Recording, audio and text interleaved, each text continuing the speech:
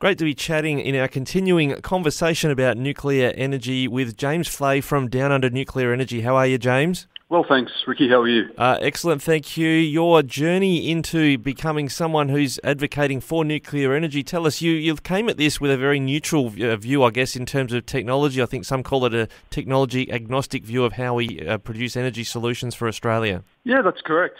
I uh, started my career as an electrical engineer, uh, doing work mainly for industrial and utility clients, uh, and then um, have moved into uh, moved into renewables. Um, so we were building, designing uh, solar, large solar installations with with batteries um, for for clients, uh, and then and then oil and gas. So I think I've worked in all sectors of the energy industry.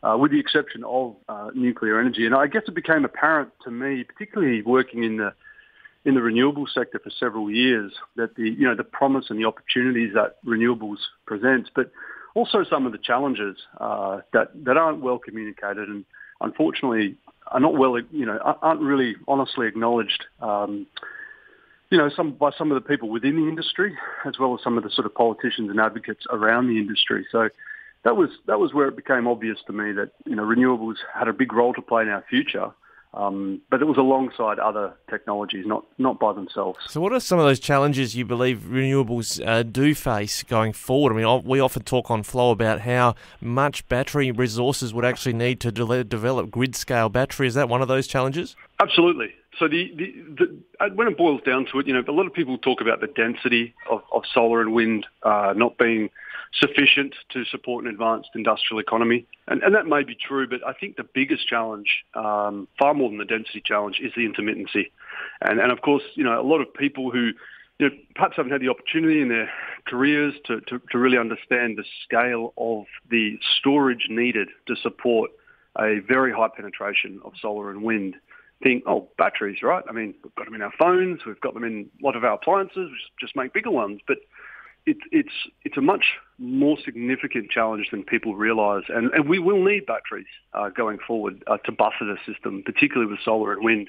But that's not the same as storing sunlight up for the evening and storing wind energy up for a still day um, or a still week uh, or weeks, as they as they sometimes have in, in Europe uh, and we we have here. It's it's it's an enormous challenge. And having worked in all of those energy sectors you mentioned, uh, you know what is the infrastructure cost requirement developing out of renewables because it's being generated from places other than where we had you know power plants in the past. This is true, and you know when it comes to the costs, the the reality is is that we don't know. We just know it's very high, and and, and why don't we know?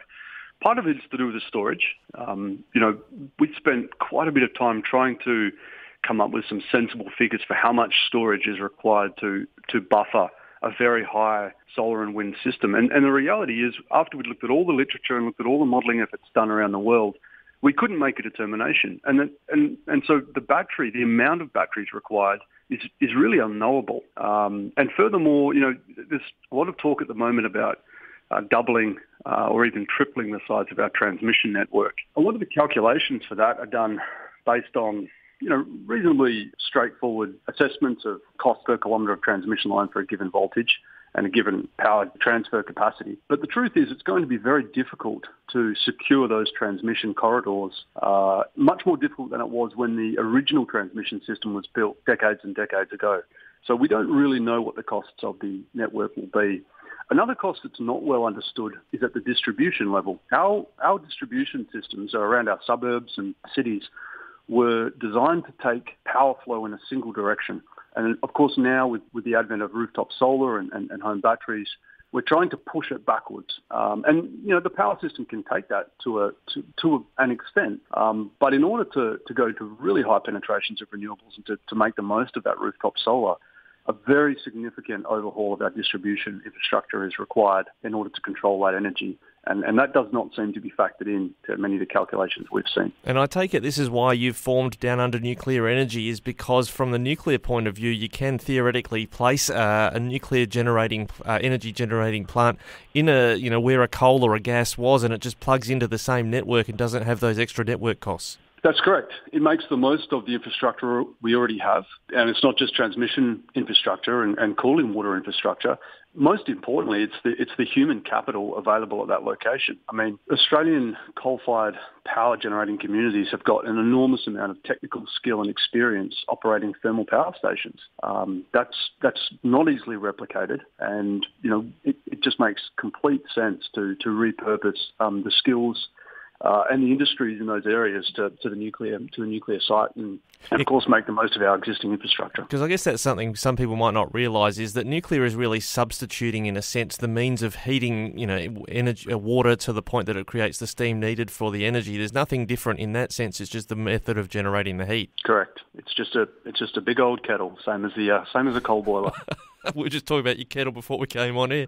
Hey, um, James, Bill, is nuclear safe? I think there's some people listening thinking, well, you know, is it safe? There's been incidents, of course, in the past. What's different now about the technology, what we're talking about here, what you're talking about with Down Under Nuclear Energy to the nuclear energy of the past? Sure. I think we should uh, be clear about one thing, and that is the nuclear energy of the past, particularly in advanced Western uh, nations, was very safe. Uh, you know, I, have I've heard conversations recently, oh, it's, it's, it's much safer now and and it seems to it seems to create the impression in people's minds that it wasn't safe once upon a time. And and the fact is, in in you know the United States, France, UK, it's always been very very safe.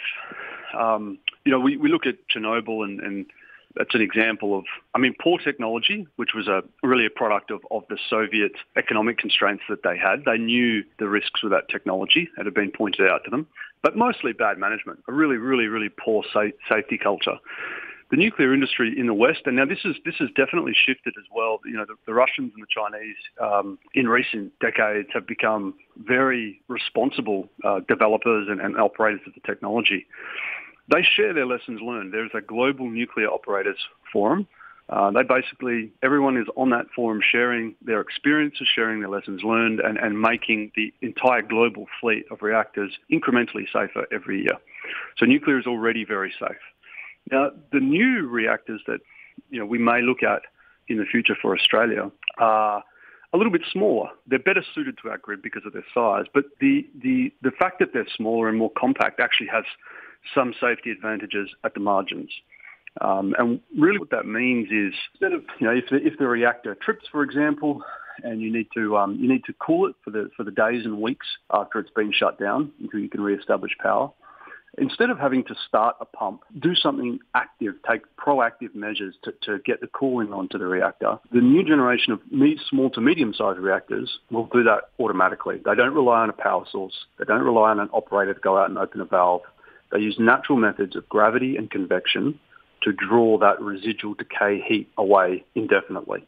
And these for very long periods of time. And these technologies you're talking about, um, we're not talking about hypotheticals. A lot of Western nations, indeed most developed economies, are either you know deploying nuclear, getting into it, or are using nuclear energy anyway. Absolutely. Uh, it's important to point out that the, the sort of generation of, of reactors that you know, are being most seriously considered for deployment and are at the most advanced stages of deployment in this quote unquote SMR category are just a simplification uh, and miniaturization of existing technology. So we have decades of, of engineering and operating experience uh, that has been rolled into these reactors. They, they, they're really just small versions of what's already out there.